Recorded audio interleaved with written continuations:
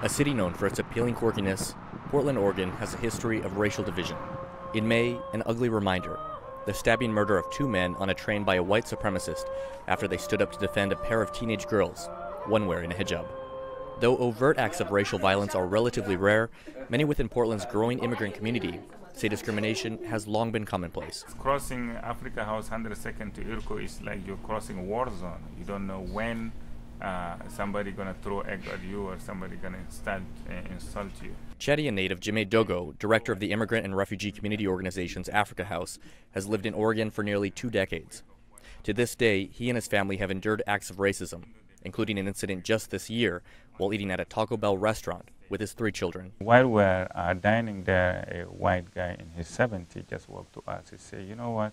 What I like about black people is when they smile, they, you see a white thing in their face and just walk away. As the city has slowly become less white, extreme divisions have surfaced during the process, says criminologist Randy Blazak. It's really sort of the ripping off of a scab. I mean, there's there's a wound that's been there for a very long time, and it heals a little bit, and then an incident like this comes along and sort of rips it off, and we're reminded of all this anger and pain that's always been there. Francisco Aguirre, an immigrant from El Salvador, has lived in Portland for 21 years.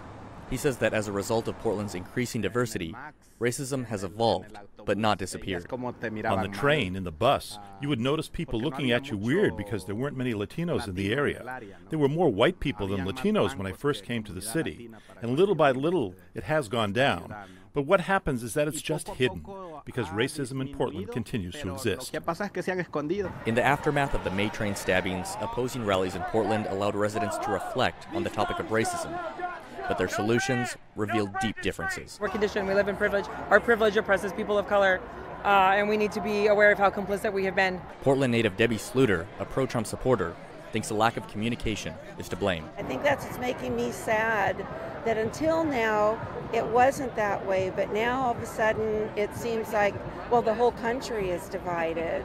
And we want to see it get back together again to where people are working together. Ramon Taylor, VOA News, Portland.